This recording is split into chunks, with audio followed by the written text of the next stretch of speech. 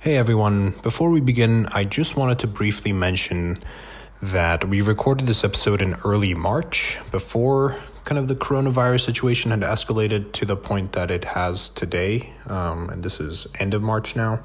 Um, this is before the quarantines and the lockdowns in Europe had set in, had been put in place. I think maybe like three or four days before that.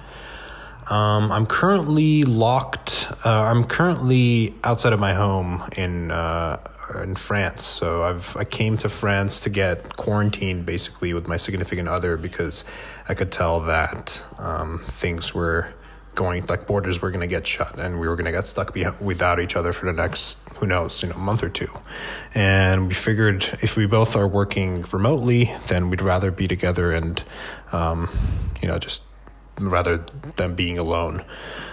Um, I mean, it's a. I'm glad I did it because uh, now I'm with someone rather than being alone. But um, it's tough. You know, I'm away from all my equipment. I'm away from my uh, podcasting setup. Um, just working off a laptop and with using TeamViewer.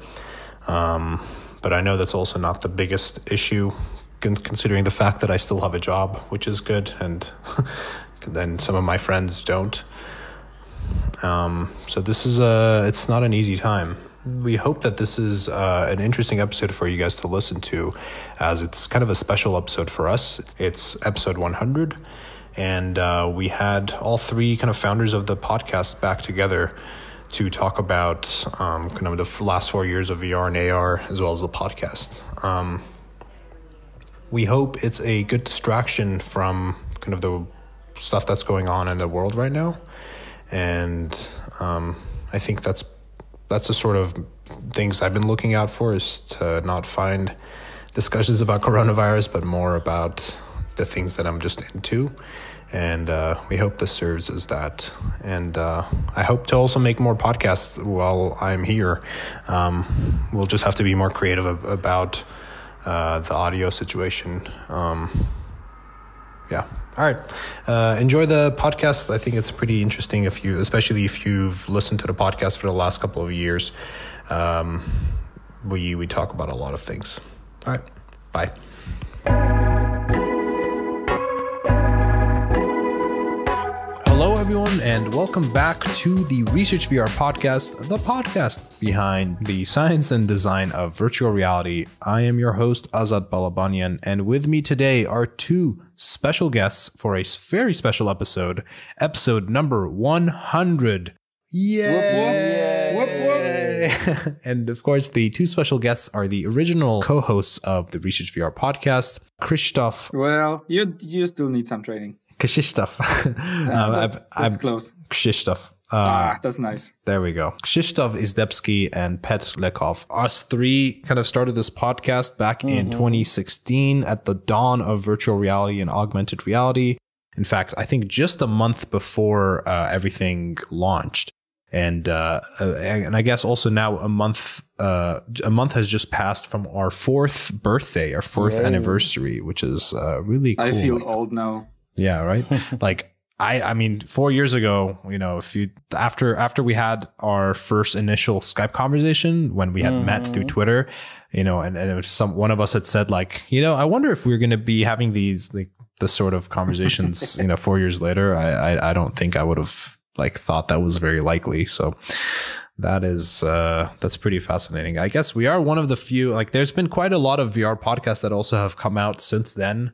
Uh mm. some that have died some have some yeah. that have like stayed but i guess we have still stayed around you know which is uh yeah, yeah good job guys. Yeah thank that's you. all thanks to you well, and uh, the great audience, obviously. Yeah, no, yes. I mean the the the listeners, I think, have been fantastic. Uh, yes. I don't know how people find the podcast, but I'm always surprised when like I run into people at, especially at like VR conferences or yeah, at VR conferences or like VR events. It's typically developers that know about the podcast, and uh, that always makes me really happy because that's like that was the original idea, right? Like when we mm-hmm.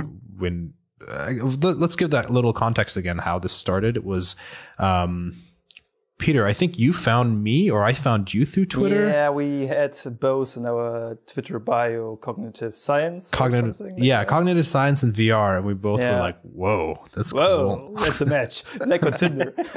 like on Tinder. And then I remember asking you about if you're interested in like UI UX, which is like what I was really uh, focusing on. And you're like, no, but one of my colleagues does. Uh, Mhm.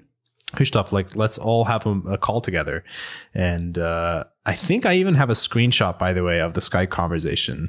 Ooh. Um, yeah, I I, sh- I, I was l- recently looking through the screenshots on my on my uh, laptop, and I was like, whoa, I think that's my. I don't know why I took that screen screenshot, but it's there. You knew that it's failed. going to be important in the future. Yeah, And Yeah, so you the next step is to print it, put it in a golden frame, put it like a diploma on your on your wall. Yeah. None of us are smiling. We're all just like very serious Yeah. faces, like, hmm. Let's do business. yeah. So Krzysztof, I guess we haven't heard of heard from you in a while. Uh, last time we heard from you, you were working on uh, you were at grad school doing your PhD, correct? That is correct. Those were good days. Those were good days, Those uh, those days are uh, gone. right? so Uh, so what happened? So what happened is I discovered how cool it is to be a product manager of your own product. Mm. And that it's actually much cooler than doing a PhD and it brings me much closer to much faster to my goal. So as people in academia like to say, you you you went into industry.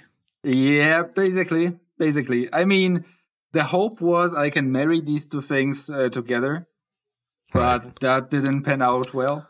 Uh, Management takes a lot of time and uh, doesn't really align well with the scientific thinking. Mm-hmm. And so, um, yeah, I Hmm. completely switched from doing a PhD.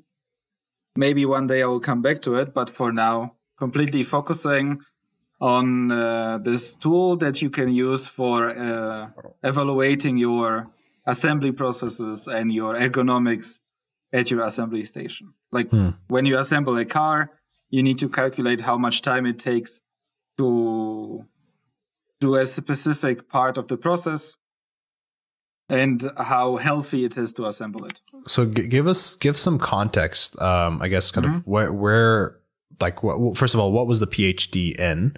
Ah, sure. Um, and yeah, kind of how long how long did you go Yeah. uh, before you decided to leave? Yeah, I was actually thinking how it all started, and I think not.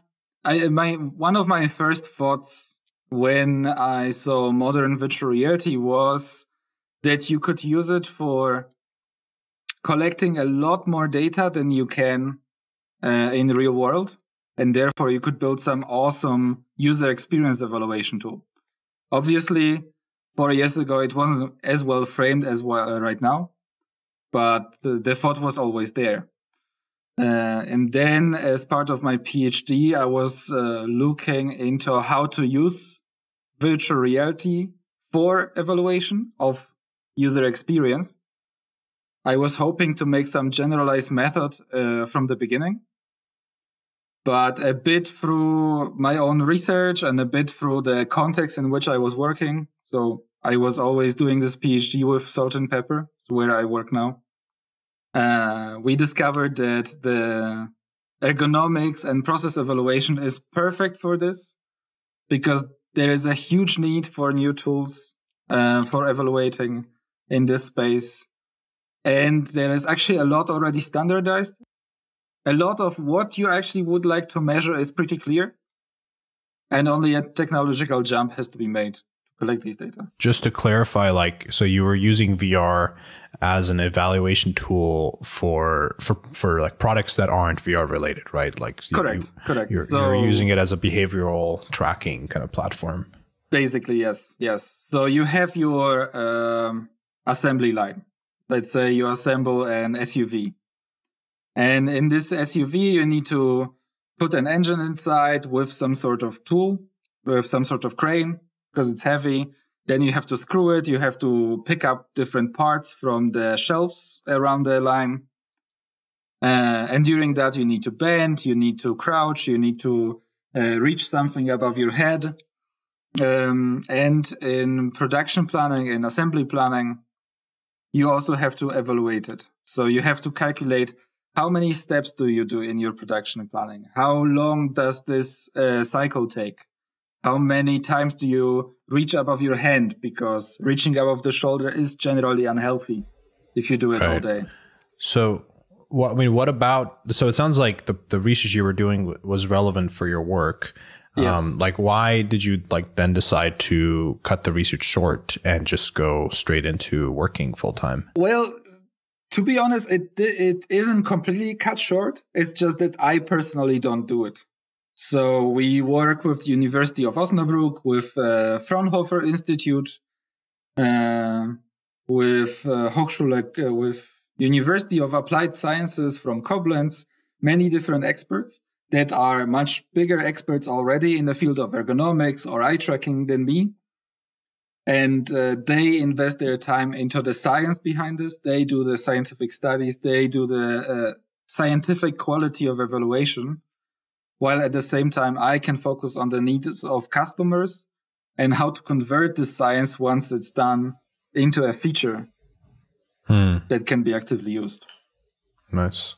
Let's let's get back to this. Uh, yeah, sure. And uh, pets, where uh, where are you these days um, compared to the last time we checked in with you, which was actually quite a bit ago. Uh, we haven't been recording too many episodes uh, in the last like six months.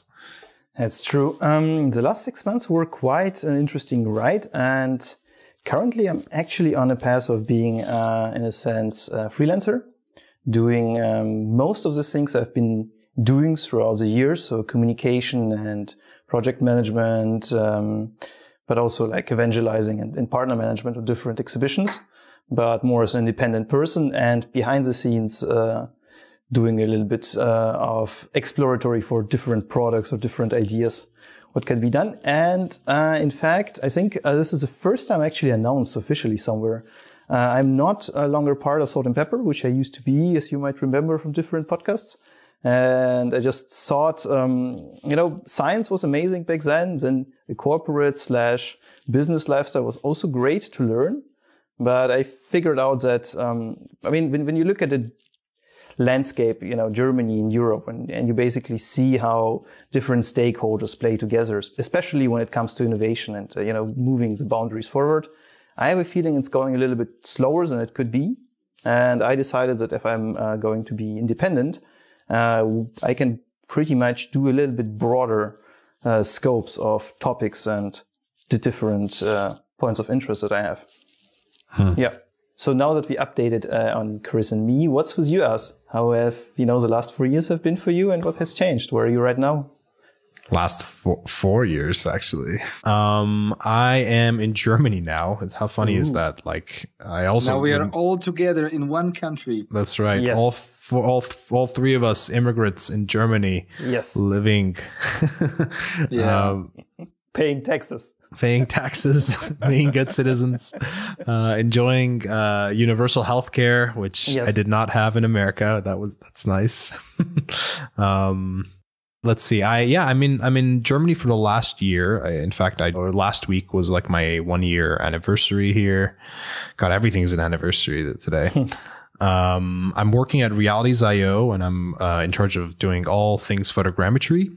So from the capture to the processing to the engine side implementation. And now I'm doing a lot of also mesh retopology and texture fixing. I, it, it is really nice. I, I have to say like four years ago, when we first started talking, I might have even had tried photogrammetry at that point because I tried it first in the lab as a mm-hmm. as an idea that I had and I knew there was something really interesting there, but didn't know to what extent you know this would be important in my life. Um, and over the last couple of years, I um, yeah, I met the two co-founders of Realities.io, David and Daniel, and uh, a year and a half or two or two years after that, now you know I moved to Germany to work with them. Um, so that's been really it's been kind of quite a blessing. Like, uh, there's not that many places where, you know, you, I could work on photogrammetry specifically for VR. So I'm very thankful on, uh, on that part. You remember when we had some first time on the podcast? Yeah. 15th February uh, 2017.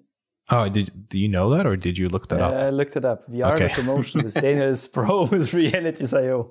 Nice. Uh, Daniel actually studied at the same university as uh, Chris and me have been. That's right, and he was he's also a cognitive scientist. Um, so that was uh, my initial kind of like connection with them was me nerding out with Daniel about CogSci and VR, and yeah, him telling he him telling me about how he like really worked on this Blink teleport locomotion system, which was I think that was that must have been one of the first times that someone had experimented with like teleport not just being uh a you know a straight teleport but like Mhm. to zoom to really like fast forward fly towards the teleporting location Mhm. uh, in a way to kind of like still retain cognitive uh, understanding of the scene rather than getting de- disoriented so that was that was interesting and then i had and then i spoke with david who was like kind of all, all in charge of photogrammetry and he's one, like one of the pioneers behind using photogrammetry in vr I remember being so excited to meet someone else that knew anything about photogrammetry. And I was like, you know, like what software do you use? How do you do this? How do you do that? And he's like, ah, look at one of these noobs like talking to me about photogrammetry again. But eventually, like we spoke, I don't know how, when we spoke after that, but when I told them um, in 2017 that I was going on a trip to like Armenia and uh, a few places around Europe that I wanted to do some scanning with my drone he was like, "Ooh, like that sounds like that would be something interesting for our app um, on Steam Realities.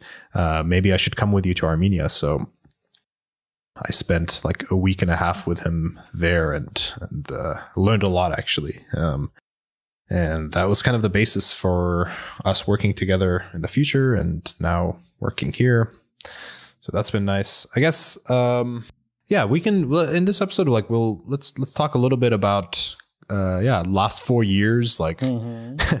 where were where were we when we first started this uh things that happened along the way um and then we'll also go into like vr itself vr and ar um kind of where what has happened over the last four years so the context around how the podcast even started was i was so my main goal my in my senior year of college uh my bachelor was like I want to have a job offer by the time I graduate. That was like so like a goal, a target for me. Uh, because like I knew a lot of people that were struggling to find jobs and I was like terrified to just like finish and then just move home and then be like, okay, what do I do now? Um, so I wanted to like at least have something. And it was a really grueling like nine or 10 months, I'd say, um, of just like trying, applying, trying, applying, like, I, I I'm really I'm also again extremely fortunate that I um I met like my professor, uh, Professor Nicholas Davidenko at UC Santa Cruz. I took a class uh, on perception that he he taught. That was that's kind of his forte, and he mentioned at the end of his of the class that like they or he runs a VR lab, or at least they have a lab where they use VR for CogSci. And I was like, that is freaking amazing. Like I I need to like I, I knew about VR. I had tried VR a bunch of times. Uh, I didn't. I wasn't like this is exactly what I want to be doing. Like that was just it was just interesting to me. But um, the thing that really sold me on everything was the whole perception class was about like, or most of it was was visual perception, some auditory perception, like spatial perception.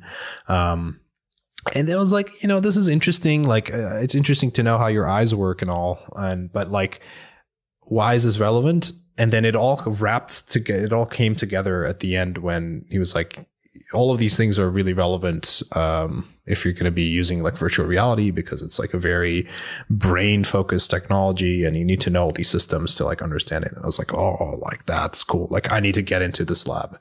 And I spent that summer, this is the summer before my senior year to, to get into his lab because it was super, uh, it was like high demand.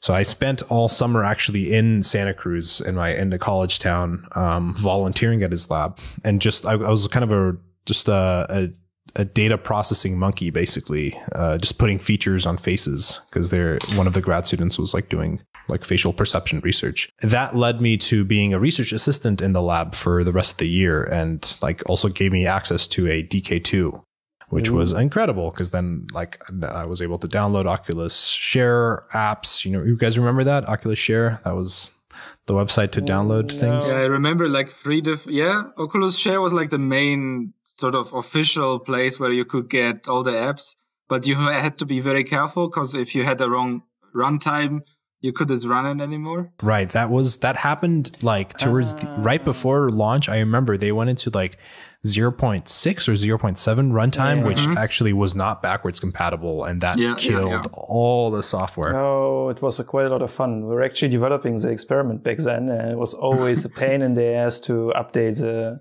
Runtime. SDK, runtime, and all the stuff in Unity. I actually recently uh, had like a tiny hackathon with a friend, and we played around a little bit with the Quest.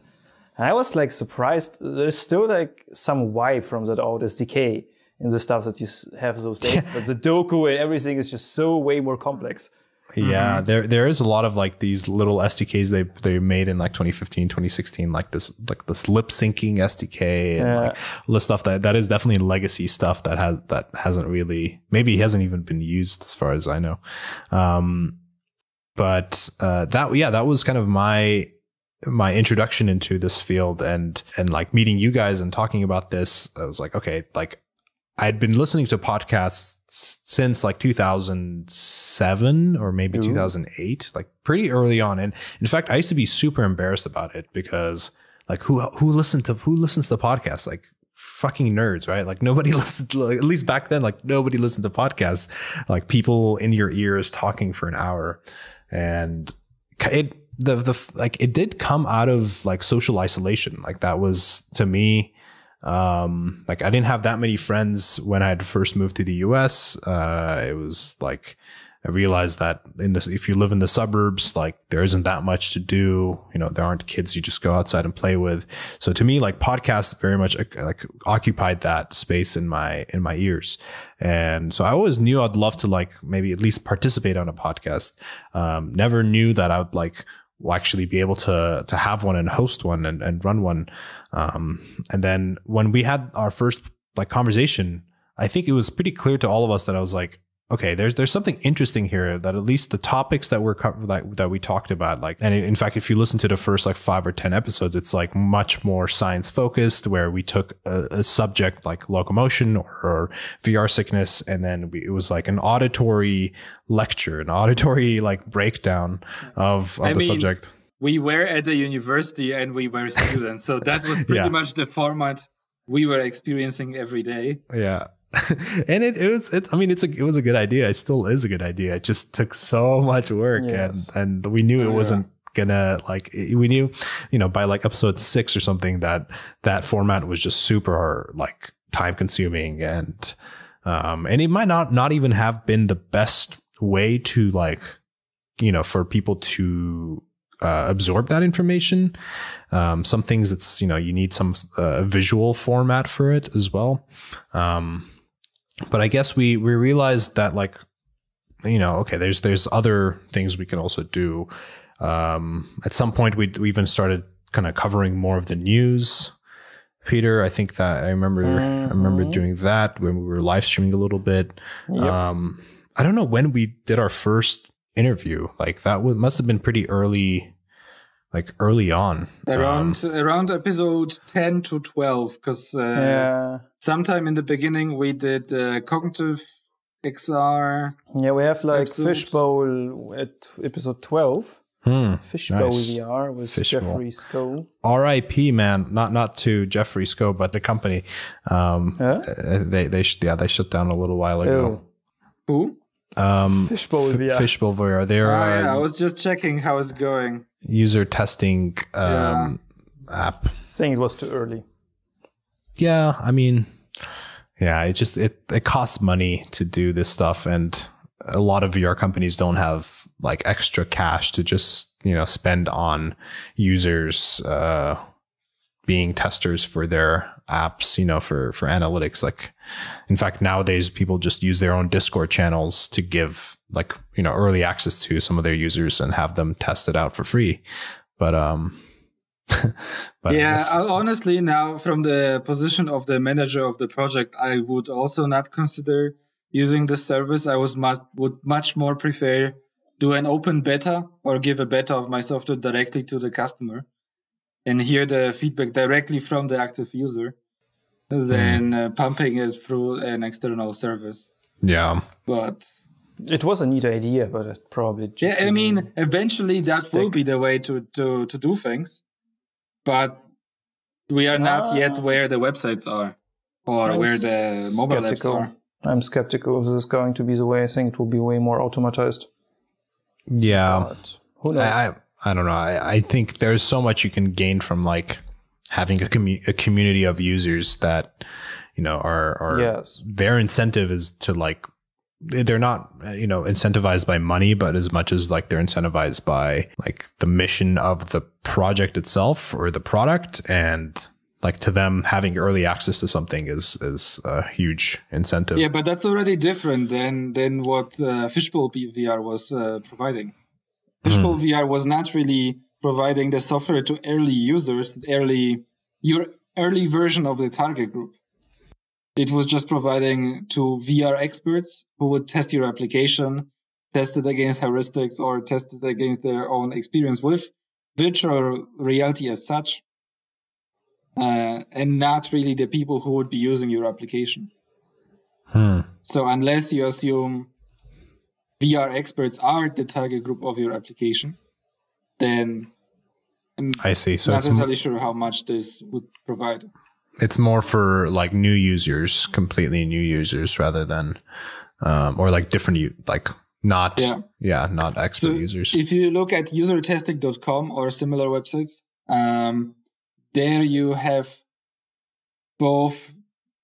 Correct me if I'm wrong, but uh, there you have both experts in user experience and also people who are generally interested in this specific type of application. You can choose which applications you're testing. So you wouldn't test some complicated Excel table if that's not your jam.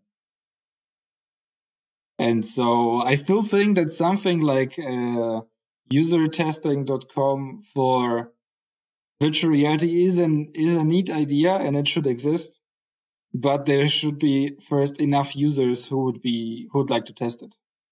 So that you actually test your cohorts or so you actually test For sure. I mean, there's obviously like a lot to gain from understanding how to, you know, non-expert users, you know, perceive what you're building. Um, but in the early stages of a product, let's say, which is what every VR company was, you do need to, um, rather than try to shoot, you know, broad, you kind of really need to narrow down the scope of who your users are to at least gain that initial traction with some set of users. well know- technically you still need to do it now. No, no, not yeah, for entirely sure. If we moved on from that N- f- n- Definitely not. I mean, you kind of still need to know how to build. You know, what? Who are your first hundred users? Like that. Sure, that it's yeah. hard. Your those hundred users are end up. They're most likely going to end up.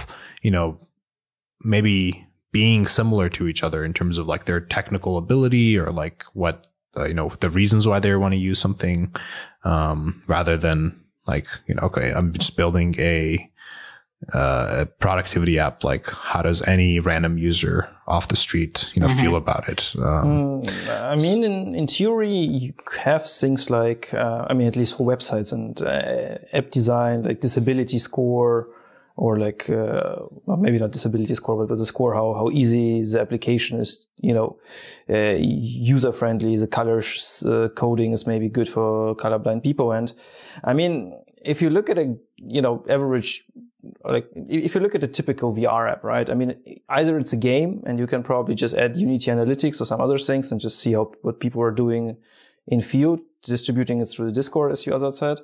Uh, if you're building something more specific, I think it's very, very narrow focus. So, I mean, you're not building really right now, at least the next Microsoft Office.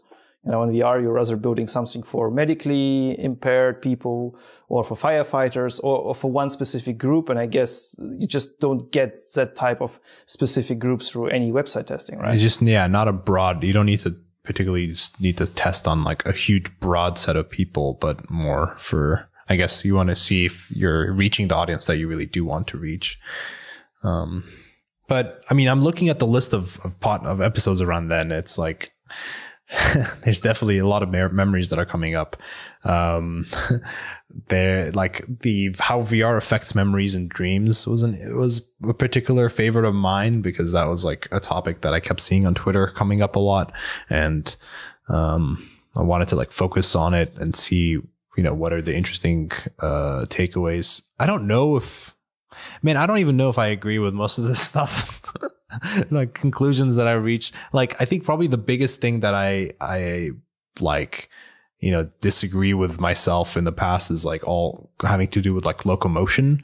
And in fact i don't even agree with myself in like the last like six months or three months. Like i, I think that's i keep going back and forth on like what it is like how you should be moving in vr um but one thing is for sure, it's that there are a ton of use, there are a ton of users that do want to have what they call like artificial locomotion, you know, stick locomotion, um, like a, like a traditional video game. And that's been really driven home by, uh, like Onward and Pavlov, like these two shooting games, which, um, people want to be able to move similarly to how they have in like Counter Strike. And, um, that but kind of but the yeah. question is mm-hmm. why. So what they really need is the agility, agility that you need in these games. In the games like the uh, Counter Strike, in this case Onward, for example, you actually need this continuous movement because teleporting or even dashing completely breaks how you would expect uh, a shooting game to work, a competitive shooting game to work. Yeah. And so you would need to build a teleport around this need or teleport locomotion method. Yeah, but at some... the same time, add the motion sickness uh, element to it. Hmm. I mean, some games have done it well, like like Rec yeah, Room. I think launched exactly. only with teleport, and in fact, that's still like a. Um, but you can select in uh, Rec Room uh, like this yeah. uh, control with uh, controller, with a joystick. And I actually prefer in Rec Room just to sit in a chair, don't move so much around and completely move uh, with a joystick, whether in Serenity or like more, you know, action intense games. They, of course really like to jump through the room. I mean, the question is, what do you do? Like when you, you know, do stuff similar to as you others have been showing on YouTube like a few years ago with Medium, right? Clearing uh, complex uh, objects that you scanned. That you clearly are not going to move really in the place for eight hours. You kind of want to lean back. And when you play like game for fitness reasons, like Tai Chi uh, that I actually play today in the morning just to relax or, you know, some serenity stuff or whatever is on the quest is really engaged. You kind of want to move. So I guess it also depends on, you know, the scenarios that you want to play in, right? I mean, similar with a Switch, you kind of want to be on the go, but you also want to connect it to a big TV when you're home. Yeah, but isn't the advantage of virtual reality really the uh, spatial understanding that you get from it? And you get a spatial understanding only if you use your body? No, well, no. I mean, it's uh, you still get the spatial understanding of a map by moving through it, you know, on a on a two D sure. monitor, which is I think that's why people like artificial locomotion is that you have not stepwise motion, but you have just smooth mm, motion okay. to scene, and that I I I don't know. I mean, I don't have any research to back this up, uh, you know, off the top of my head, but like I do think that is the like how like that that fundamentally creates a better understanding of of the space is smoothly moving through it um so i mean that, for those reasons like that that's a big one i i do i think i do think we should talk about um how room scale vr kind of like the the the benefit of it i think is it's it's funny like uh, uh let me quickly kind of build this argument. Like room scale, okay, let's go back to 2016. Oculus Rift and HTC Vive are are neck and neck. You know, HTC Vive comes out or announces itself itself in in like December of 2015, mm-hmm. and it's supposed to be you know uh, it's supposed to have like a Portal game with it that apparently HTC kind of like totally like announced or like they they had some promotional material with with the the Portal character and that Valve wasn't happy about. But anyway, the the whole thing is that like HTC came out of nowhere with the Vive and it was supposed to be a better version of the Rift because of uh, the much wider tracking system with lighthouses. Mm-hmm. And the the whole thing is like, you know, like first there was just three DOF uh, headset, then there was six DOF with one camera, and then Oculus Rift like announces that they're going to have two cameras to have like this nice, you know, full body movement, and like uh-huh. we're doing full room scale where you can just move around. Like, and if you look at the first trailer from HTC Vive, like it's all about like having an entire living room for the kids to be able to like run around, like the fantastic contraption game where you really like walk in your walk around the room and put things. Um, and the lab was all about like room scale. The the point I'm trying to make is like that whole concept of room scale. It, not that it I think rather than it being super important to be able to walk around the room, what it ended up being really good for is like to be able to be in everywhere in your room and still do and still be able to have VR. So like if you're playing a couch a couch VR game or like if you're playing Tilt Brush, um, that you know you can scale the world and you don't have to actually walk around. You can just sit on your couch and keep doing what you're doing, or you can sit on the chair across the room and keep doing what you're doing, rather than like have to be aware of where your um, you know Rift sensors were. I think that that to me like that took a while for, for, to really understand that like okay room scale doesn't actually have to mean you have to be running around in your room for a vr game to be fun but it just gives you the opportunity um, to have your headset work anywhere within this room yes um, i think you see also an interesting design difference um, from the user perspective still to those days between let's say the quest and like a vive uh, it's way easier to recenter when you have like an Oculus or the Quest on. It's, it's kind of just always built in in the system. No, no matter where you're in the room, it's, it's, it's kind of, you don't have to install any third party add-ons or whatever. You just basically reset and it kind of always feels great. Last time I played around a little bit with Vive system, I was like having uh, issues where I moved through the room and I couldn't like really get the tracking be exactly the same in game compared to reality. And another point, um, what at, at least that's my uh, observation. Most of stuff on Quest kind of encouraged you to move. Like, of course, you have Tilt Brush and few apps like Netflix where you probably want to run around. But from the game side, I, I don't think there's any game that is that easily played uh, in you know in couch potato mode. I mean, may, maybe Rec Room when, when you activate it, but it, I think um, yeah, there is also yeah it is also this magic about being, I mean, of course, tethered versus untethered. I mean, it's a long debate, but I just observed myself being way more often in the quest, just doing Beat Saber or some sport workout with uh, pistol whip or whatever, and just enjoying this moving around and don't have the cable, while actually the games emphasize you to move around the place.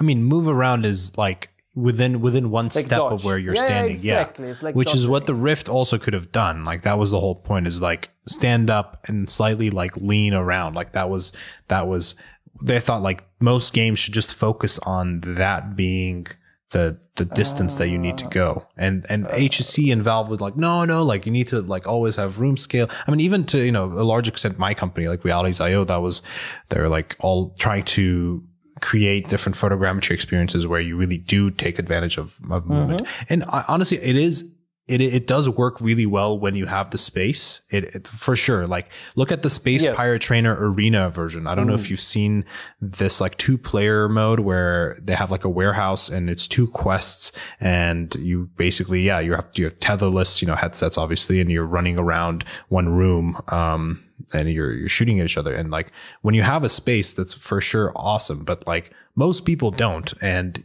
that's not you shouldn't really expect that for a game to to take off with when you have such huge like room requirements. So uh, defi- define room scale. What do you mean by room scale? Because i see uh, three topics that we discussed right now. One is tethered versus untethered. I don't think that's part of the room scale.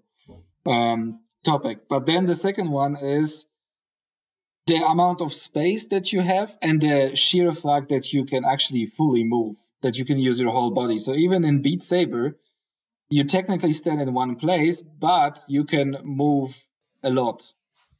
So yeah, what do you yeah. mean by room scale? Is it just no, the fact that you can move or that you have No, no, no. Space? I'm I'm I'm making a point specifically about the the the marketing as- aspect, the selling point of the Vive was that, or the the whole Lighthouse system is that room scale is how games should be built around.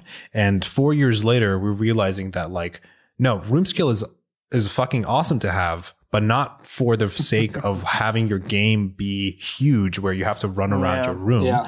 but for the sake for the for the benefit that your headset and your controllers work anywhere within the room. And Yes. you don't really have to worry about like where in a, like you remember like even your orientation with the Rift Exactly. uh mattered. Like oh fuck, I have to always know like where your my computer is. It actually changed the way how uh, you know how games were uh, designed around it. So when you remember the first version of Robo Recall, I don't, I don't, I haven't mm-hmm. tried it on the Quest, Oh, yeah, but it had like, thing, yeah, you, you, I mean, it was the first game I encountered in VR where you would basically be able to teleport yourself, but while you teleport, you could shift around with a joystick and choose the orientation you would face when you're teleporting there. Yeah. and it was because of the limitation of the original Rift with the two, with the two camera systems that most people had. Um, I think I haven't noticed that much of that orientation teleportation thingy in you know those uh, modern yeah, modern games yeah four years ago uh, in those you know rather new games. So I, I think it's still kind of exciting to turn yourself. Uh, in a room, and it's kind of also exciting. I mean, with Accounting Plus, or you know, you know, with those games where you explore a story, to kind of walk around, or even with Anne Frank Museum, it's kind of cool to have like two, three meters, x two, three meters. Yeah. But most of the time, it's kind of just dodging and shooting. Yeah, it, when you have room scale, it is. I mean, it for sure. When when it does work, it it is very nice. But it's just the minimal, like, um, what do you call it? Like the lowest common denominator between all VR users. It's like clearly not. You're not the, the lowest common denominator is not going to be space. You know, like most people do not have it's that also space. not like completely sitting down and only looking in one direction, right? I mean, Gear VR Yeah. and those headsets didn't. I mean, i still enjoyed the Oculus Go, but uh, I actually miss those games. But I guess I would never get it. Granted, you know, th- these things do change with with Quest. I think that Yeah. all, all of these, all of this has been specifically about PC VR because most people's like PCs are in their bedrooms. Well, Yes. technically, with the Quest, you have a very different conversation about the room scale Yeah, uh, because you can literally use it from anywhere, yeah. even the train. I think Pat could upload some photos uh, to the Instagram. yeah, I was playing Beat Saber on it. A running train it was fun. Yeah, it actually works. Very surprising to uh, everyone that was watching. Yeah. Um, Uh, But yeah, I sh- basically, basically, I agree with the argument that the big change is that you don't have to think about the technology because you can use it anywhere. Yeah. Um, your point about t- tethered versus tetherless, I think there isn't really like a point to argue. I guess maybe there is some some things to discuss there, but like tetherless is almost always you know better or like it's an advancement over tethered, and and if there's anything in there, if there's any scenarios where tethered is better, and that's only due to like the technology of wireless or tetherless just not Correct. being there. Um, Yes. The coolest, honestly, the coolest advancement that I can point to in the last four years for VR ha- is the fact that Quest, like the Quest exists. First of all, do you remember how Mm. um, how much of a holy grail it was to have inside out tracking and uh, for that it still is right? It's Yeah. like pretty crazy. But like I remember in 2016, that was all like we. I'm sure it was we talked about t- like inside out tracking on an all in one headset, like like over almost every episode, and that being like that's what we need to get to. And then yeah, after you know two billion dollars and Oculus being Mm-hmm. acquired and and Facebook you know employing some of the best like computer vision Yes. uh, people, they have like one of the most rock solid all in one Yes. uh, inside out headset. But so the point I'm, I'm I'm actually making is the the coolest advancement is not even that, but the but it's the fact that now with the Quest you have a all in one headset which you can use anywhere, but also yes. you can stream you can stream it from your PC. Your PC can act as a PC VR uh, device Yeah. and then stream video to your Quest. So you have both a Steam VR headset and an all-in-one wireless headset, and it's like this hybrid system. So when you're at home, you could use it as a PC VR. You have all the processing power of a, of a computer, and then when you want it to be mobile, um, you it could be you know it, it's Except a, it's Android phone. Tethered. Uh, It doesn't No. have to be. It doesn't have to be. Dude, I Yeah. bought a Quest specifically because of ALVR, which is this like random app that was built. Um, and, uh, it was a way of like basically emulating a Steam, a, s- like a Steam VR headset to a Go. It was built for, I think, Gear VR or Oculus Go for 3DOF basically. Yeah. Saying it's also open source, right? It is open source, and then the ALVR people actually kind of built uh built a Quest version. They showed me like this early version where they're like, "Dude, you can stream Steam VR uh, content to a Quest," and I was like, "This this is blowing my mind." Like I've, I've realized there was obviously latency in in the streaming quality, but for certain apps where the you, fast movements don't matter, like let's say like creative apps like Tilt Brush, Yeah. Gravity Sketch, and even some games like Vox Machinae, which is like one of my favorite mech game, um, it's it, it- the latency didn't really matter. So that like that that was why I bought the Quest. Like I knew it was obviously a technologically awesome thing, but like I don't really play very many games. But when I saw that you can stream, I was like, okay, maybe I'll just use it as a virtual desktop from my bedroom to check in on like my photogrammetry scans on my PC and control my PC without actually being there. And then Oculus, dude, it, I don't think even Oculus thought of this use case. Like they didn't even consider this use case until after Quest launched. And then they saw how many people were using it. They saw Virtual Desktop making exactly. uh, a version, a client for it, and launching it through SideQuest. Um, that's a whole story. I think Upload actually did a, a an Upload VR did a small short interview about that. I, I mean, there is an issue with this wireless thing, which is the user, right? I mean, uh, I guess uh, if Oculus could, uh, you know, do some seamless magic 25G streaming out of the box, cheap, reliable, and every user would be able to use it, they would, you know, might have done it even. But it's just, I mean, you're technically at adverse, me too, and, Chris too, and we probably can figure out the right drivers, the right Wi-Fi router with the right five gigahertz high pass uh, best run. But but even with the you know Oculus Link, um, the Quest Link, when you connect it to a PC, it had some driver issues, and it should be more reliable than going wireless, right? Uh, so I mean, I think for professional users or someone who is like really deep in VR, it's amazing. But I wouldn't necessarily call it like a huge selling point for new users. I don't know why. I just feel that they might be disappointed by you know latency or just the chunk- chunkiness of it. It's yeah, it's I mean it I guess it requires some technical prowess from the user. It's not like Yeah, yeah, but let's not for people, forget but- that actually uh, we do have two target groups for virtual reality. We have one target group that brings the volume right now, that brings a lot of people who are buying, buying the headset right now for the immediate entertainment or immediate benefit. Those are the users, those are the uh, users that will not play around with the cable, that will not try to fix the drivers. Those are the users that are playing Beat Saber and Robo Recall and whichever game they can just buy and use. This is like the primary target group that we want to address with virtual reality because that's the scale. However, there are always new features, always new uh, paths that we would like to explore. Hmm, I- these new paths will be explored by the people who are ready to play around with oh. drivers. I disagree. By the way, I, I don't. I don't think most of the users are not willing to look into like what cable to get. Like I, in fact, that's the benefit of being this early. Like all the early users in VR are like they know they're early and they know all the shit that comes with like early technology. And and as far as I can tell from like subreddits and like Discord channels. Yeah, but um, this is the second target group. The target No, group no, no, no, no, no, no, ready I- to play I- around with cables. I I've been also observing the Reddit sub uh, the subreddit um, for the Oculus uh, Quest. I mean, people were so much discussing different casings and different modifications.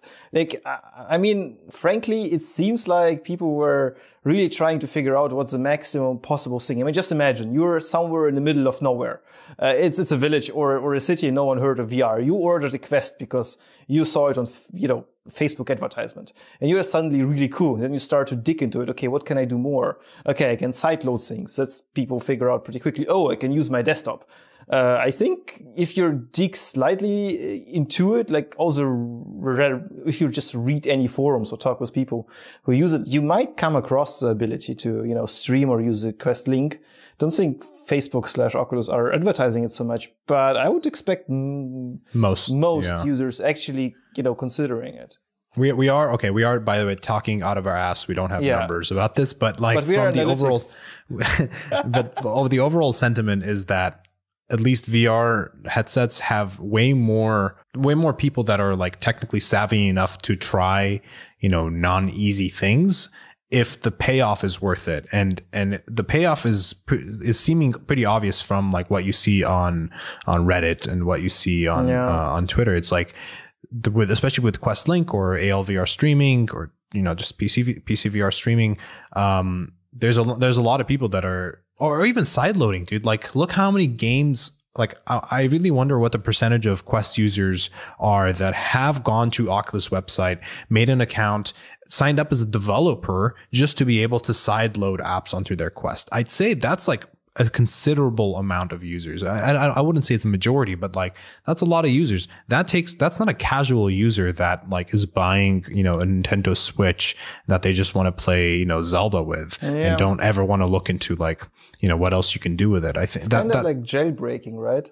yeah, it's it's it's it's a similar. You can think of it in a similar way, and and that will change. You know, that percentage of of people will get I guess get lower and lower as this Yeah. medium is growing. But that's that's where we are today, and so I guess you shouldn't be too afraid of something being not that easy or streamlined because if you have good enough documentation, like if there's good tutorials on YouTube, dude, any user that has zero understanding of anything can follow a dumb like tutorial on YouTube and get to what they Yep. want if the payoff is worth it. Like if there's anything I've learned from that, like I've learned so much stuff from YouTube being a dumb user myself, like um just by f- following step by step guides. Mm, and you can't break so much. That's the whole point. Like, uh, I mean, the worst thing can happen. You can't install the side quest or you can't really sideload apps because you have the wrong cable, but you can't really rig the headset itself. I mean, I did some extensive side loading with it and tried a lot of stuff. It still works.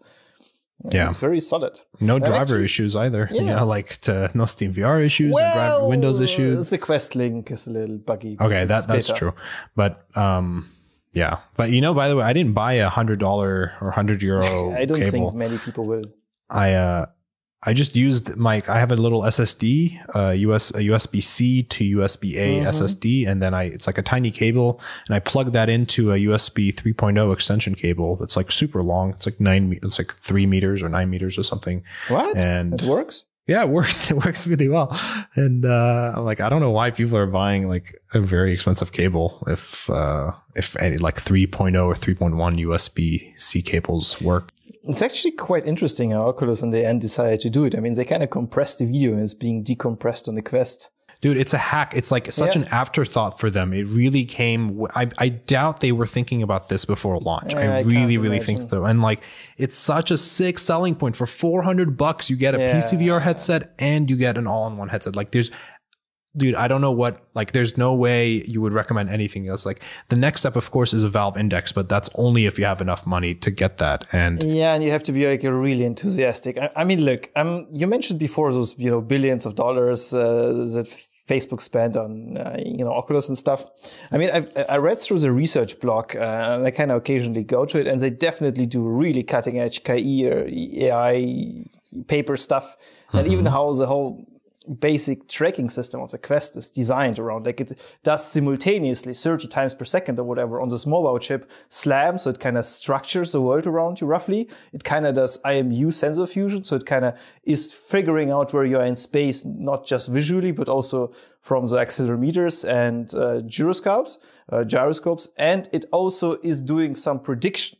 And that is all running yeah, On this a mobile mobile device. on a mobile device. Yeah, Yeah, it's crazy. And then, dude, not only that, but now hand tracking, fucking Yeah. hand tracking. Yeah. on top of that, like that's that's pretty decent. Um, I mean, I have a theory that it might be sooner or later um, going to. I mean, it, it might be sooner going to uh, exist in more headsets simply because Qualcomm released their new 855, 865, or some X2 chip or whatever they call it.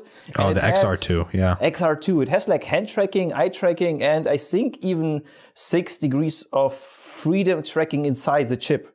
So if Qualcomm, you know, spent all the research money and it's solid, maybe it will fix the next headsets, not only from uh, Oculus itself, because I'm actually worried. I mean, for 400 bucks, getting a standalone headset plus a desktop headset, plus you kind of have, you know, good apps that's kind of well curated, plus you can sideload, plus, you know, apparently, I mean, people probably do still porn with VR, right?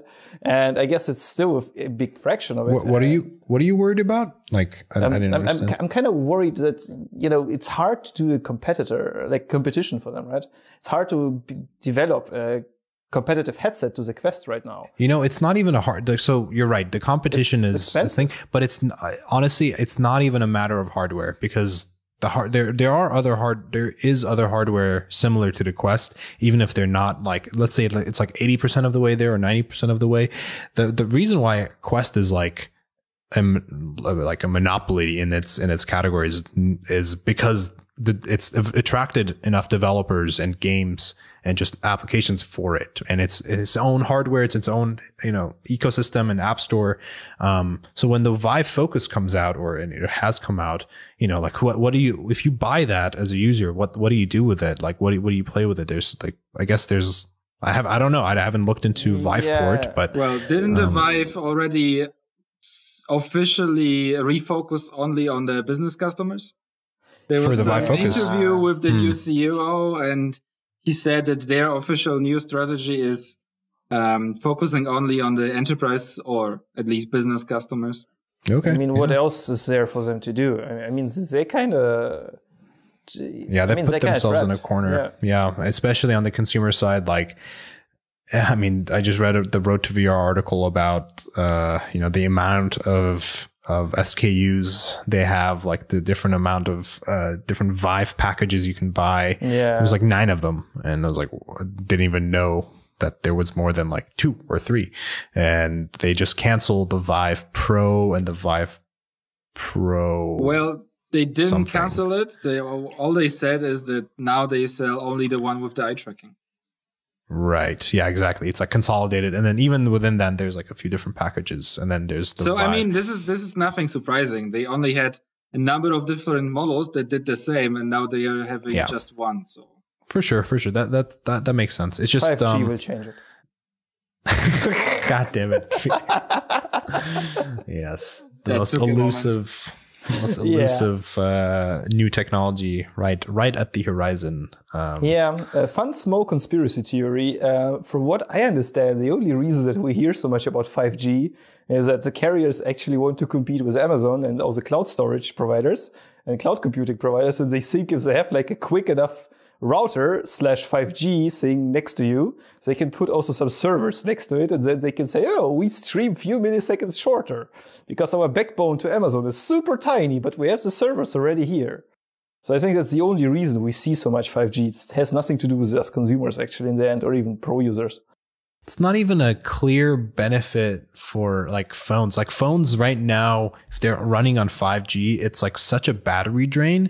So Yeah. it needs even a few more years. Like I'm sure that'll go away, right? In a few generations or even in one generation. Like they'll just find a better way of like handling, uh, like high bandwidth, like connections. But like, Right, right now, 5G completely drains phones' batteries, which is why the 5G phones that are out in like 2019, 2020, um, have huge batteries. yeah, huge batteries. Yeah. And uh, Well, Yeah. I mean, there is a reason why Steve Jobs back then, apparently, that's what I, you know, read here and there, wanted the iPhone uh, to run on Wi-Fi, right? I mean, the, they apparently were thinking about ditching cellular network. And in a sense, you have right now 5G, which is going to be rolled out, which is almost Wi-Fi-like from, I mean, it has a little bit of bigger range, right? But it's still kind of 4G underlying. I, I've been like, reading through some articles about this whole 5G bubble, and I just don't understand how you will be able to have like 20 or 30 times more of the cellular towers because the range is just shorter. So this is basically Wi-Fi routers we will put in every house, but they are then 5G. Okay. But this is also not happening. So I don't know. and the answer is blockchain. or am I too late? yeah, you missed you missed the train on that one. Ah, Oh, man, the answer is Libra. The Facebook's best- crypto. the best like memory of blockchain or like yeah the best thing about it from the last four years is all the uh, people that would show up to vr events in 20 early 20 like in 2016 and early 2017 to see them all of all of a sudden jump the ship into blockchain in 2017 um you know just because like suddenly blockchain and cryptocurrency like or the the price their prices started surging and everyone was like oh now this is the coolest thing for me to do. And it's like okay like clearly you weren't in this for like you know I don't want to say for the right reasons but like you just you, you were in you were interested in VR because it was the new thing on the Yeah, market not other committed. than like yeah you didn't see through the veil understand it like and any sort of deep level of why this is like valuable for people for users for humanity Mhm. and uh and like i i mean i there's a few people that come to mind that i just like saw suddenly like go, them going into like wanting to be a vr entrepreneur but into actually- being a actually, blockchain we had an episode on blockchain. Remember? We had one, yeah, One. and it was with uh, uh, Otoy. So Otoy, Otoy, is yeah. the uh, company that makes Octane renderer, and they have a, uh cloud kind of rendering systems for you know artists or filmmakers to send their rendering jobs to be processed in the cloud. But instead of it being processed in a farm, you could like process it on people's machines. Um, as far as I know, it's launched. I haven't seen it or don't know anyone that's like used it as, uh, I don't know. It's called the render token. Um, the episode is named like render token, the only cryptocurrency that makes sense or something along those lines. Probably Um, not.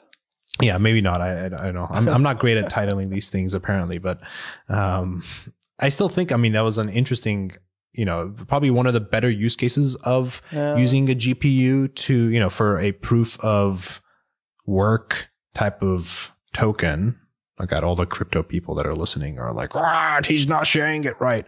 Um, but like if you're going to be, you know, yeah, it's a ledger. It's an open ledger It's ledger. if if you're going to be you know processing something on a GPU, just you know random math, then it's better. It's better, I guess, if it's being used to render you know pixels for a film rather than Yeah. just math to prove out that you know you're on the the right like you're in the blockchain correctly. Hmm, you know, when we look back in the 99 episodes, right? I mean, a lot of things has happened in our lives with technology. We have now some things that we dreamed about, like the Quest. But, um, I mean, not every company we interviewed, right? And not every guest we had on a podcast did actually, you know, had a successful uh, career with a product or the service. Sure. Um, I mean, we had, uh, you know, we talked about Magic Leap, and I think they are struggling. But then we had uh, companies like Control Labs, Leap uh, Motion, and Beat Saber. You know, I think O3 got acquired, and we had Meta, who actually shut down physically. So, what do you think, uh, guys? Uh, what, what's like the spirit? Do, did, did we actually catch the really outstanding things with the podcast? Did we miss something down the line, or was it like? a Are we good like Simpsons slice? and predicting the future? Yeah. No, we have a uh, with a hundred episodes. We have a normally distributed uh, set of you know successes Fails and and success. failures, and uh, you know you'll have a few outliers, which I guess we actually do have a, a considerable amount you know of, of companies that we've talked to. But I mean, I don't know. We, you can't just say that we're good at predicting who's succeeding and who, who's not. We all there's also the bias of like the people, the the companies that have been on the podcast or the people that have been you know, they were already succeeding to a certain extent, you know, and so that put us on, that put them on our radar and this and that. But, uh, yeah, I mean, there's, I mean, people that are listening, I'm sure quite a lot of them have maybe changed jobs over the course of four years, you know, moved on to something else, moved into a different VR company or moved to an entire different industry.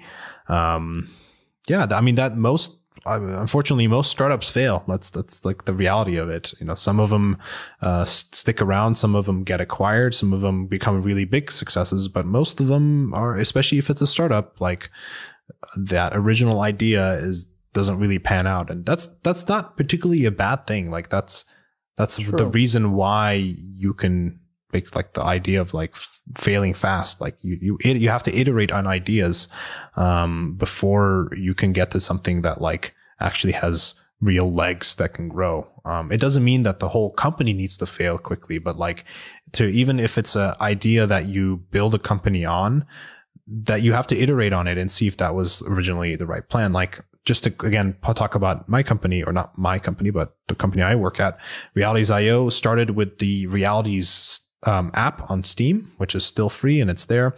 But it's it was a virtual tourism app. That was the original idea for Realities, is to have a platform for people to for us to first make photogrammetry experiences like non-linear stories and films for people to experience, and then for that to grow for other users to be able to make that those types of experiences on the app. Um, but that's not what we're doing these days. Like that, first of all, like our photogrammetry uh, experiences take so long to build.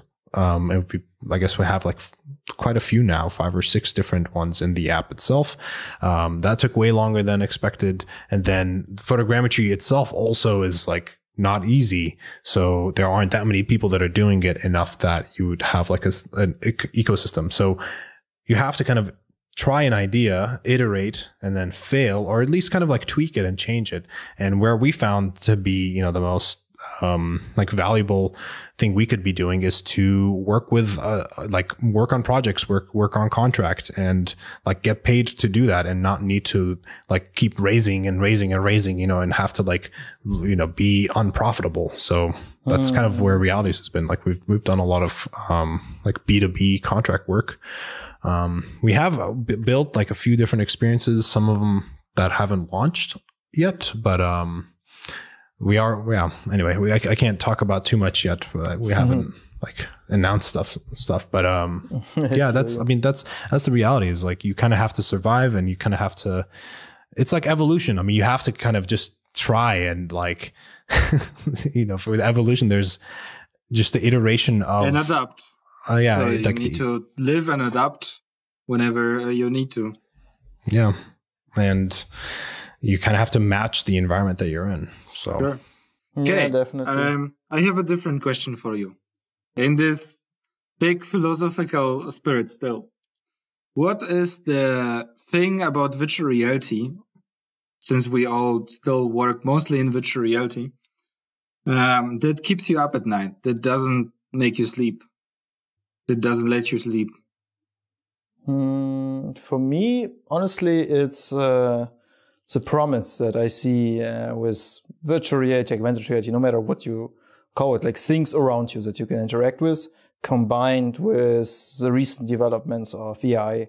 So I don't think we are quite there yet, but um, in maybe two, maybe five, maybe ten years, I can pretty much imagine, uh, you know, a situation where the device on your head, no matter what it is, can almost guess what you're about to do, and it can make the whole experience feel more seamless and more intuitive. And that way, hopefully, that's at least my big hope, provide you a way to explore data, concepts, and knowledge in a fundamentally different way. And don't get me wrong, I'm not saying it will be amazing and will substitute everything else.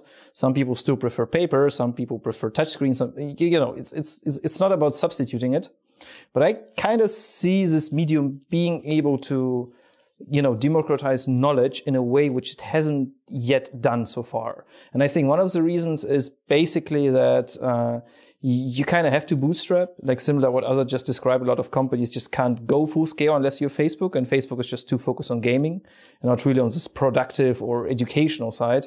And it's kind of a moonshot because you also need really big advancements in AI and uh, artificial intelligence for that to work.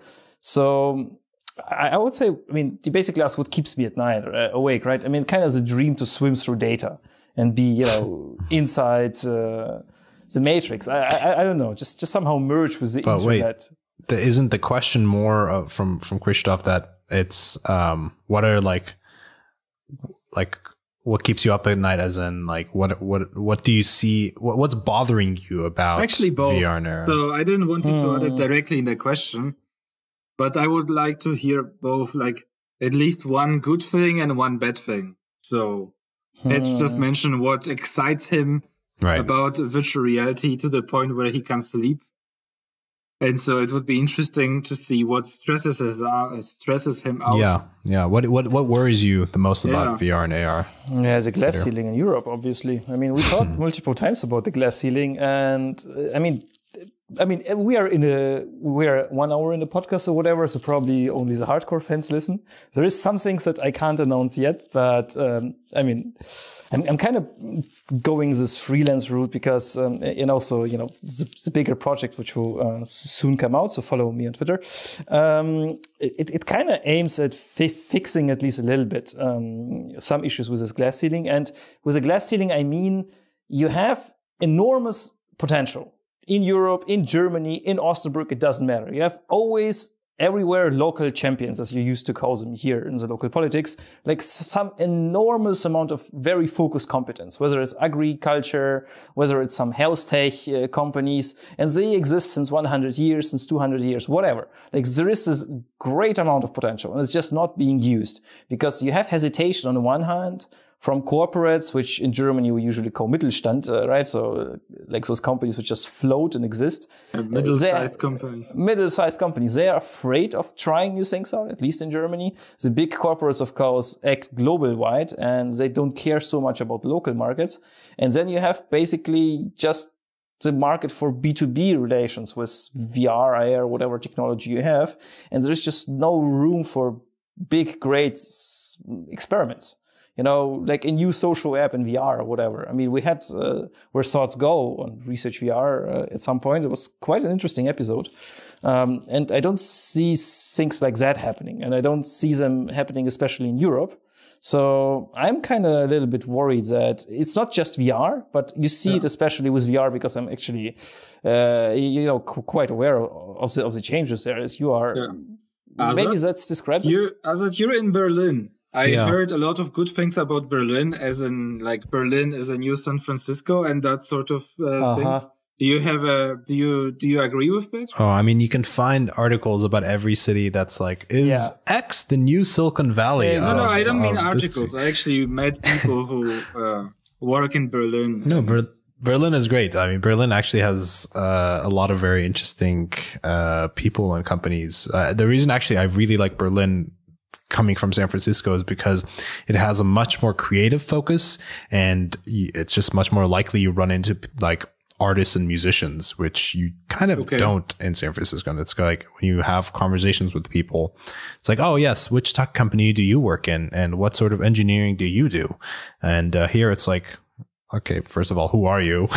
Where do you come from? Like, what country do you come from? What languages do you speak? And then, like, if you do end up talking about work, like, what sort of things do you work on? And it's like very often not tech related, which is great. I see. Um, it's interesting. But going back to glass ceiling or just to comment on that, um, yeah, I, I like, even before coming to Germany, like I, and looking at our stats and our, and our listen listening rates, like Germany has been consistently the second biggest country mm-hmm. where we have uh, listeners from. First is US, second is Germany, uh, and then the UK. Um, I also, also didn't realize how big Germany was when it comes to population. Mm-hmm. Is it, what is it, 80 million? 80, 100? 80 million. 86, I think. It's quite a lot. Um, but even within that, like there's, there's a lot of like talent. There's a lot of engineering. Yes. Um, and there's also a lot of consumers, just a lot of like people that are like hardcore enthusiasts and gamers. Um, so that's cool. So Germans that are listening, uh, hello. um, uh, hello. wie geht's? Um, but, uh, yeah, I think what's the difference is like maybe like there there are a lot of companies in Germany that exist maybe these middle-sized companies like they exist around feeding the other larger companies um, and like we we even us like at realities we did a project for Audi um, and that was literally like a year long endeavor like last year um, mm-hmm. and there's entire towns that are built with their economies built around like the yes. car companies. And so, sure. you know, the German economy, as far as I know, which is very little, um, there's a lot of like, you know, in, interworking companies that do things. So suppliers, maybe, maybe yeah, suppliers basically. It's a good, good way to put it. Um, so I guess in, in like SF and Silicon Valley, like there's, just the thinking the thinking is a little bit different and like how the, how this engineering gets applied is just always on a very broad scale like they always shoot for the moon they always shoot for you know they want to be a very large and very fast scaling company because with software like it's just so much cheaper to be able to like make a large mm-hmm. impact. You don't have to like have factories building stuff. You don't have to have that crazy of a, I guess, supply chain if you can just push code and it's, uh, it can be on people's devices instantly. Um, so that there's a difference in thinking in that in that regard. Uh, people go to SF and Silicon Valley to learn, you know, how how to do this, and and it's it's very imp- inspiring, honestly, to be around people that are thinking like that. Like it's, I'm, I'm thankful that I was there, and I did learn a lot. I met quite a lot of people, um, interesting people. And, but the, the best part about all of this is that all of those learnings and all that knowledge is on the internet. And in fact, you don't have to be there to learn. Like I, even though I was in SF when I was doing, uh, like before realities IO and I was like also freelancing and, you know, doing my own production company, like I spent so much time like listening to lectures, um, and reading just like stuff from that came out of Y Combinator, stuff that, um, the people running that accelerator like wrote about. Um, I felt like I learned like I almost learned like a, a small MBA, you know, like how, mm-hmm. like at mm-hmm. least like a startup, startup MBA. Like how does, how do you have to think, uh, about strategically like being like, okay, you can code, you can build something great. How, what, what should you build? And then compared to like giants, how should you do that? How should you position yourself? So that, that sort of stuff is like, much more about strategy and that the best part about it is you really don't have to be anywhere for that. Like, I guess as long as you can, you, you spend the time to learn and you think about it, like that really does apply. And, um, I mean, what, do you have what a good point, As, um, but I mean, um, one of the business ideas that I'm toying around is actually helping out startups with, you know, finding corporate clients and VCs and connecting basically in innovation, right? I mean, it's, it's fancy words. Forget the fancy words. The whole thing is I'm really shocked. You know, I, have been through a lot of, uh, you know, events in the last few months and just exploring and looking again at the startup scene in Germany. I, of course, was always a little bit more biased towards VR and I've been just trying to look a little bit outside the bubble that we have been, you know, swimming in. And I mean, first of all, people don't really know what to search for. So, I mean, I've been uh, lucky enough to be with Chris in San Francisco. We met and I, I also learned a lot of fair shares there. And through mm-hmm. those international VR bubble, of course, I, I, also ended up watching stuff about VCs and how to build your marketing stuff on YouTube, which is amazing, especially from Y Combinator. But people don't watch it in English here. At least I've hmm. met so many people who kind of watch more the German ripoff. Yesterday, I've been listening to one of those uh, official media podcast from from so the state I think Tagesschau Disrupt or whatever. Hmm. And I was like, yeah, there was like this copycat ex-investor who is now investing in more traditional B2B business. And I mean, the words that you were saying were making sense, but kind of lacks this uh, drive. So I mean, you could learn all hmm. this stuff on YouTube, sure, but you but still you need capital. English, yeah. I mean, you still you need to speak English. You need yeah. to know that you should watch it rather in English. You need to open up your mind towards okay, fail fast. It's a very strange concept in Germany, yeah. even yeah. in Europe, uh, and you need capital. And it's not that easy to raise money if First of all, there is not such a big VC market uh, in Europe in general compared to San Francisco, right? And then mm-hmm. the stories that I ended up hearing from startups, I mean, they go to people who claim they are VCs or they want to invest, but they are more from this traditional mid-sized companies. So they evaluate mm-hmm. on completely different tracks. So you, basically want to do something which you got maybe even inspired from the spirit from San Francisco, right? But you end up still pivoting towards a more classical B2B company, which is not inherently bad because it might be way more sustainable than actually doing this turbo capitalism with WeWork examples, right? NSF, right? But still, um, you kind of lack the people who just come to you and say, okay, you can do it. Just try it out. Nothing bad will happen.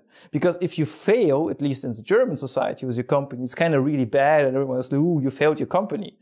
I don't think this is the spirit in SF, right? I mean, that's, it's a learned thing for sure. I mean, in the US, it's not, even though, yes, there's this cowboy mentality of like, you know, try and, and always shoot for the moon. And, you know, you can, you can, like, it's, it's about the whole American dream is like built around that. But yeah. like it is very unique, especially to like California and Silicon Valley, at least to me, that it was new to me also when I moved there that like the idea of failing not being a bad thing was, was very novel. It took me, um, it took me like failing a class in college to even to like understand that and to like be like, okay, I shouldn't think I'm the worst and the, the worst like person in the world, like the worst student in the world. Um, to, that if I do fail on something, but but you're right. I mean that this is a very specific mentality that kind of is is learned and and ingrained, and um, I think that that it's not just the idea of like being okay with like doing something large scale and then failing and then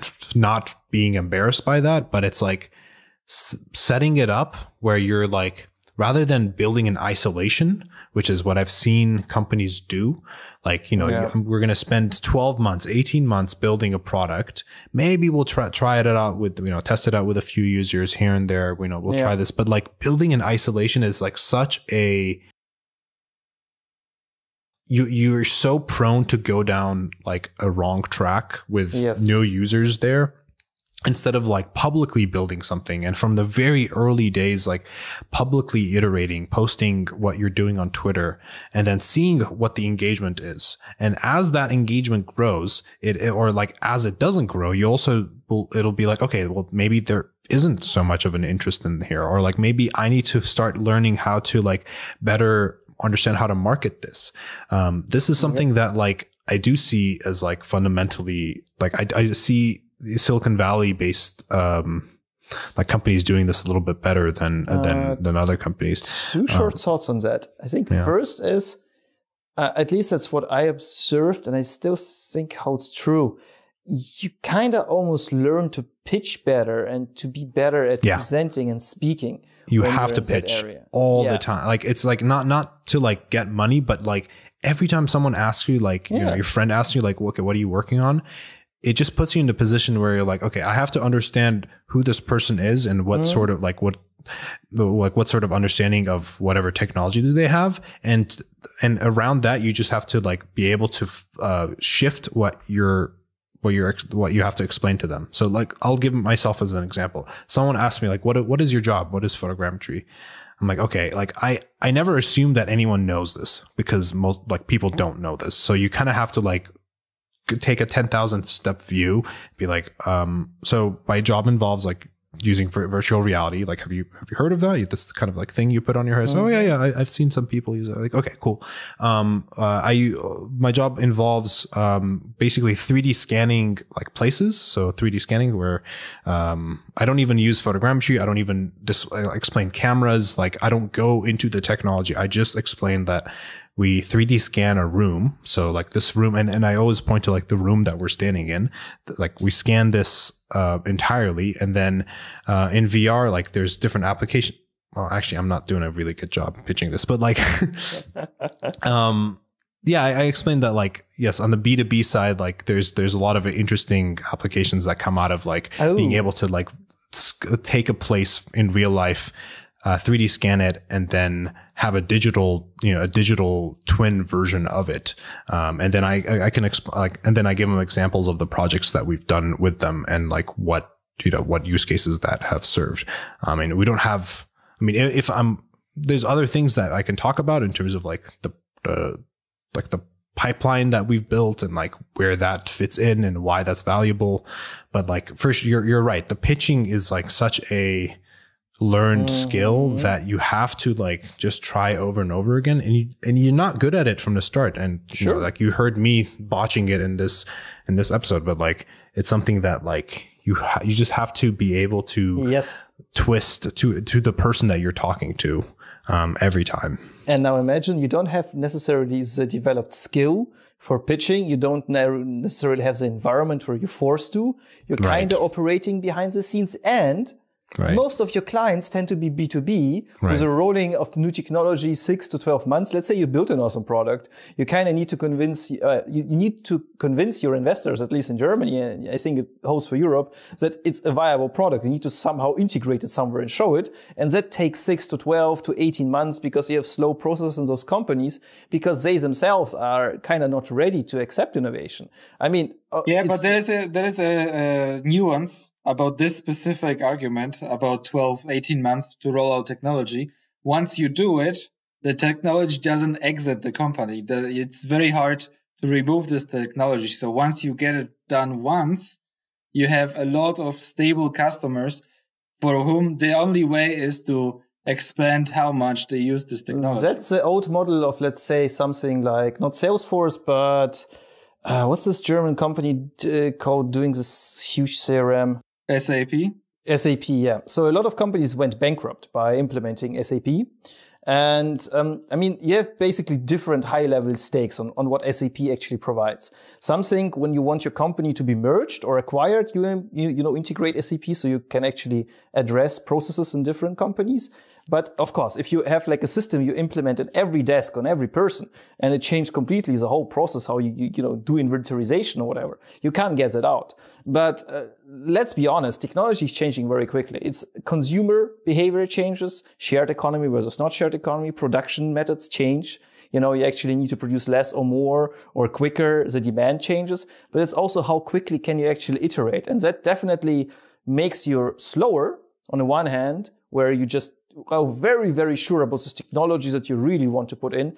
But I would argue that if you don't have test grounds, if you don't actually have innovation departments that work explicitly with external partners and don't try to do it in-house with those fancy innovation offices, which just basically grinds through the walls of the corporate that they are in, inside. And you actually allow for certain things to fail just on the periphery where it doesn't hurt your main business. You're probably better off in a global competition. It's just if you, you don't have want, these offices, or if you do have them. If you have uh, an openness to external innovation, if you work with startups, with uh, the government, with science, but also with VCs, and just basically cooperate and see where can we actually join efforts. Let's take Osnabrück for example, right? Osnabrück is a tiny city, 150,000 or whatever, but around Osnabrück there is a huge amount of agricultural companies that are just basically market dominant in the world, like uh, building tractors and agriculture tech. And you would imagine the city is a perfect place for a hub. And there is a lot of chat about uh, that in the local politics, but it's just not happening because those companies are too hesitant. Of course, you don't have big VCs in Osnabrück, but Osnabrück surprisingly would be the really good case to open some kind of agriculture tech hub. But this is the thing. You have too many big companies distributed across huge amount of land and they are very slow to even, you know, try anything new before it's really solid. So how would you expect things to develop? I mean, on the one hand, you don't have early adopters and early customers. On the other hand, you don't have a huge VC market. And the government is also usually in the way with regulations, which technically makes sense, just not so much necessarily for young innovative startups. So I, I think it's just a glass ceiling, which on the one hand, of course you can watch those videos. And if you're lucky enough to be in San Francisco for a few months or you lived there for a few years, it doesn't have to be San Francisco, of course. It can probably be also Shenzhen or Tel Aviv. It, it, I mean, SF itself is not that special, I guess. I mean, it is, but you could probably get this uh, entrepreneurship. I don't know what the word for it is somewhere else. But even if you have it and you come here, okay, what's, what, what can you do? Like, of course you can use the right word and pitch it rightly. And then you have probably a easier way to do your B2B bootstrapping business. But you still can't repeat the same thing as Magic Leap did. No one will give you one, two, three billion for a crazy idea here, which is maybe good. But also there is not so much capital for round A or B for any, you know, mid-sized, normal, innovative startups here. So you kind of end up small. I think uh, you said a good point where, especially with like you're saying, the ag tech companies in Osnabrück are they're large, large and old companies, and they're yeah. not really that hasn't really changed with any new companies. That that is a big difference in the in the US where like the if you look at uh the Forbes like top 500 companies, the Forbes 500, I guess. Mm-hmm. Um, there's actually quite a lot of change that has happened in the last 20 years, much more than you would see in uh in Europe, especially yes. when it comes to like wealth. So it, there's just that idea of like new and small companies being able to come and disrupt something and, and, and to go up, um, to like, to, you know, d- disrupt an entire industry from, um, God, I almost don't want to use the word disrupt anymore. It's like such a, it's like become like a bad Evolve. thing word to use, but like it, it, it is that idea, yeah, of like a new a new incumbent kind of like entering a, a, market and to be able to like make a lot of changes like that. I guess is not as common of a thing in Europe. I like how we completely have like ignored the yeah. list of topics that we wanted to talk about in this episode and have research, like, food, games. Well, we yeah. haven't talked for months now, so we have to, yeah. you know, there's a lot to catch on. Yeah, that for we sure. had over time. I think this is a good um, area to kind of uh, end things and to also perhaps plug uh, how, what we think about like if, if you're into these sort of discussions, we're actually thinking about creating a new Patreon page um, that will be just kind of like the two of us, the three of us talking um, much more kind of like meta uh, like conversations about perhaps the industry, about ourselves, about like even episodes, um, and then keep the main Research VR podcast channel, like the one that you're on and the one you're listening to, to specifically like interviews with, uh, with like different founders, designers, and like basically like external interviews with people. Um, so if you want to hear more, yeah, discussion based stuff like this, uh, definitely consider subscribing to our Patreon. We're going to have this, uh, everything linked in the description. We haven't launched it yet. We have, so the reason I'm saying it's a new Patreon is because we did have a Patreon before. Um, but over the last, I guess it was like six or seven months ago, or maybe even eight months ago, I shut, I actually, uh, unlaunched the page because first of all, we had a very low output in 2019, specifically because like both Peter and I were like really busy. I had to like move to Germany and like I was doing a full time job and that was taking a lot of my time. Um, and so I felt bad for having like a monthly Patreon running without any episodes coming out. So I think the new Patreon will actually be, first of all, episode based. So you won't pay anything until we, you won't pay anything until a new episode comes out.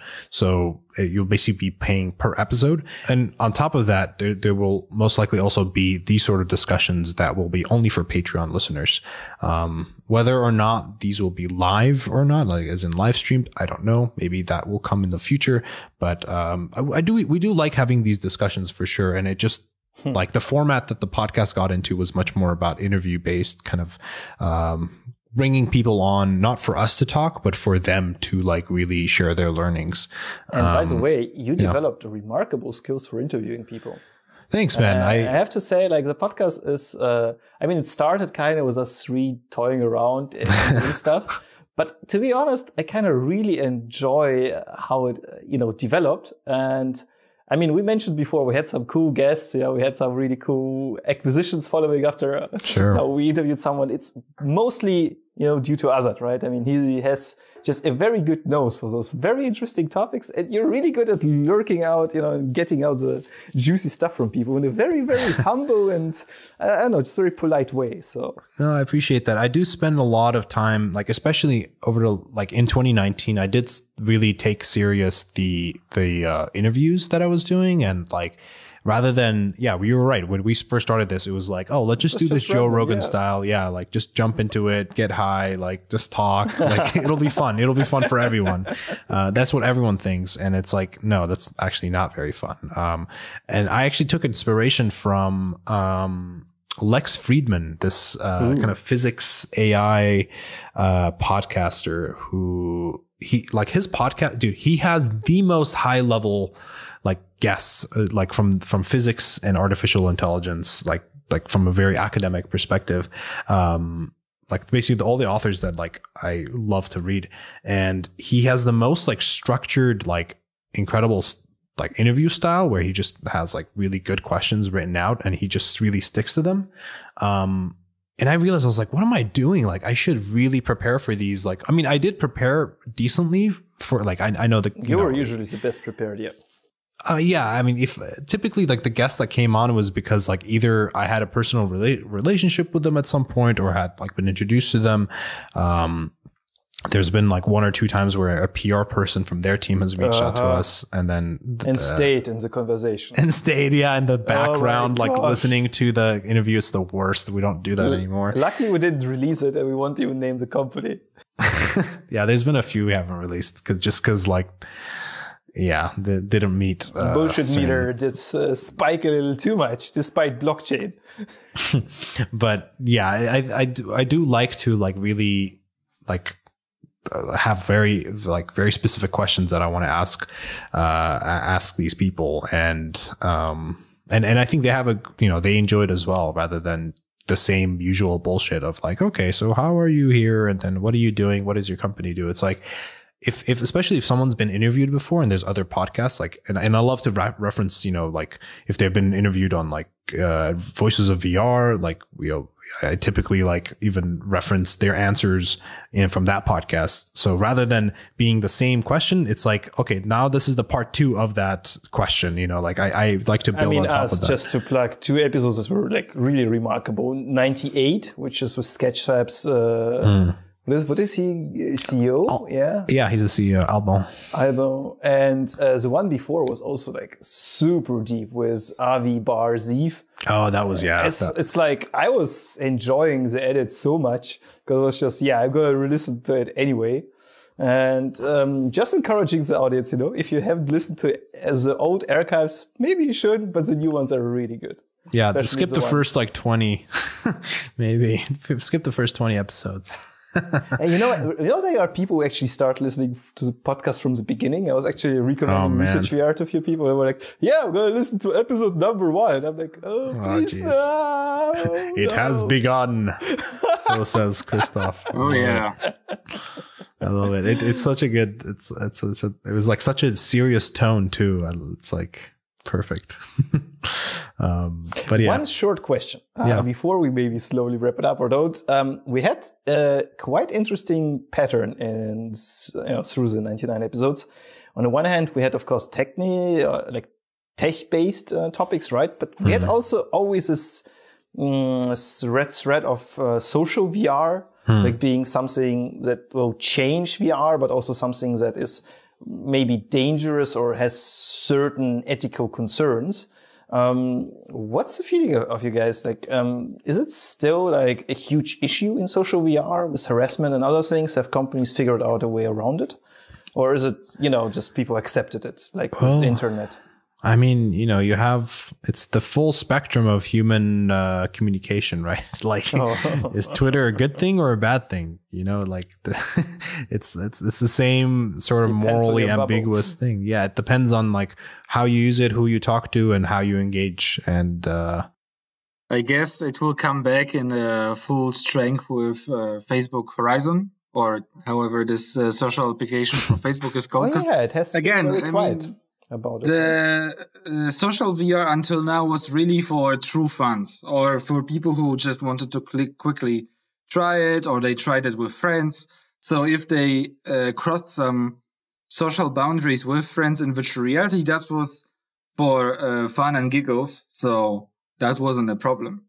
Hmm. Uh, but now that the Facebook Horizon will be there for all the Quest users, Hmm. that might come back. Small anecdote. Um, so, uh, a small shout, uh, shout, shout out to Thomas Rost, uh, which is actually you know working on those ideas I've been plugging here and there through the podcast. Uh, we have we meet regularly in VR, but not so much to discuss business, but actually to you know keep up with each other. We play a lot of multiplayer games, and it was super strange. We haven't seen each other for two or three months. Uh, but we were always like in VR playing like uh, Serenity or uh, Arizona Sunshine. And when we met, it was like almost as if we, mm, you know, seen each other physically. It was kind of similar to the feeling I had where we have been always in Bigscreen. And at some point I saw Azad in Berlin. I'm like, okay, I kind of, I kind of saw him in VR. I kind of can relate to him. I kind of remember his postures.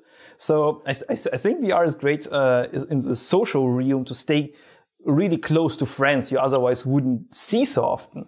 But there is not that much of a trend of really big scale gatherings, right? like meta, met, like metaverse style. Yeah. yeah. Yeah, and uh, you know maybe that's for a reason. Like that's I I don't I'm I, I've been vocal about like that the metaverse isn't particularly like the most interesting thing to me and perhaps to everyone. Like I I do I still think like Instagram and Twitter like those are metaverses in in in and of themselves and But you don't um, have to put a headset on and be in a specific room with a specific setup, right? It's kind of um, always with you. Like they're just uh, a, a general thing of like, yes, humans will want to communicate with other humans, like for different reasons, like whether that's to play a game together or whether that's to, to watch a film together. And there will probably be different applications for each because of just the, for, uh, focus like for a set of developers to focus on making the the film watching experience really good. Um, they don't need to focus as much on you know other aspects of social things. Like we have so many different ways of communication on on like desktop and mobile. You know it doesn't all live in one app. Like i don't think that's what you know but honestly there is this beauty of connecting in a party on a quest. The mic is really crisp. The audio is good. And just you know slaughter zombies together. Or just do something you just yeah, can't text each other you have to use voice you have to gesture uh, i don't know I mean, I think like an Xbox party system ah. sort of thing, like maybe that's like, I, maybe I think that might even exist on Quest. I don't know. but yeah, yeah, you have yeah. this uh, buggy, by the way. Uh, please, someone at Oculus fix this lovely buggy audio thing where you connect with a party together and then you can join games. So it's, it's actually really strange. On a Go, you used to have this official SDK where apps would actually use this avatar and all the things and you can almost join together in this virtual room and then join together in the games. Hmm. On the Quest, for some weird reasons, they don't have it. Maybe because of Horizon, you can only connect to a party and then you hear each other, but you don't see each other before you join together a game. Uh, I always thought that it's strange that Facebook released a Quest with so little social features on board, right? Yeah, who knows? I guess it's a lot matter of like prioritizing things. Corporate interests. Mm, no, just just no? like priorities of like, okay, let's make sure mm, everything else works. Mm, I don't know. But I mean, you want game developers to earn money, right? And I mean, you see those games with multiplayer being sometimes, you know, 50% off, I guess, just to lure people into getting it and convincing their friends, you know, because if you have anything which is like, uh, similar to Counter Strike, where you have servers and the game is just not popular, people are just not going to stick around and wait yeah. for others to. Yeah, it's it's a higher risk to make a multiplayer game than a single player game in VR currently, because yeah, you need more more users for it to actually be effective. Well, that's just like the room scale. you need something that you usually don't have, which is the second person in case of multiplayer. Right. Hmm. Hmm. All right, guys. I'm uh, yeah. my my tiredness level has reached its peak. Uh, it's late for all of us. Uh, thank you all for listening, and uh, thank you all for sticking around. If you have been uh, here from the beginning, uh, if you have, uh, drop us a, a, line either at our email at uh, researchvrcast at gmail.com um, or on Twitter at researchvrcast. Um, you can also find, yeah, all three of us on Twitter. Yep. Um, but yeah, no, this has been, this has been amazing. Like, uh, like super happy that this is the industry that we've all found ourselves to be in. Um, even if that means we can, you know, we, we diverge to go into other things, um, like, which I have many times, but like VR and AR is still fundamentally one of more, the more interesting things. So yes. thank you all for sticking around. Thank you, Krzysztof, for, um, for popping in and, uh, it was fun. Yeah. This has been great having you. And uh, if you like this, again, consider supporting us on Patreon so that uh, you can hear more interesting meta discussions. Mm. And uh, stick around. We'll, we'll have more interesting podcasts just over the horizon. Woo. All right. Thank you. 100. Episode 100. Whoop whoop. whoop whoop. Bye. Bye. Bye.